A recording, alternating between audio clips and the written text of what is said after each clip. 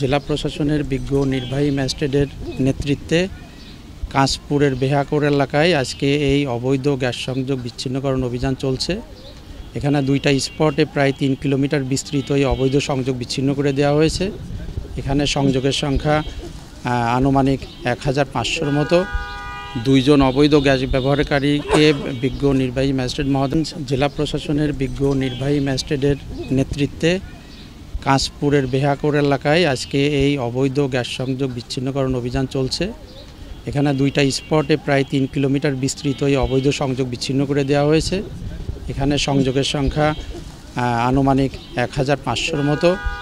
দুইজন অবৈধ গ্যাস ব্যবহারকারীকে বিজ্ঞ নির্বাহী ম্যাজিস্ট্রেট মহোদয়, এখানে দুইটা স্পটে প্রায় তিন কিলোমিটার বিস্তৃত এই অবৈধ সংযোগ বিচ্ছিন্ন করে দেওয়া হয়েছে।